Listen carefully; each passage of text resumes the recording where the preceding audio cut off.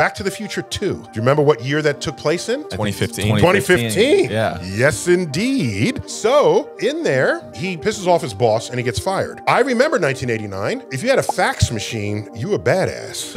and, and were you? I was both. I had the fax machine and badass. Hell right, yeah. right. No, so here's the point. He gets fired, and this is the home of the future that he's living in. So he's duly notified by fax, but this is a home of the future. There are three fax machines, and they show you oh. coming out of three different fax machines in his home. And so all they could think was that a modern home would have more fax machines than just one.